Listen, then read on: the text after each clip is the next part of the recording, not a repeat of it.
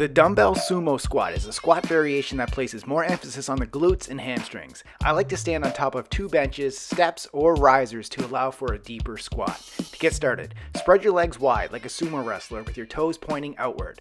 Grasp the end of one dumbbell in front of your body. Then, with your core contracted, lower your body into a squat by bending at the hips, pushing your butt back, then bending your knees until your thighs reach parallel to the ground or deeper depending on your mobility. Press your feet through the bench or step to create as much tension in the legs as possible, then rise back up to standing. Repeat for reps. Make sure you subscribe for more Live Lean exercise demos.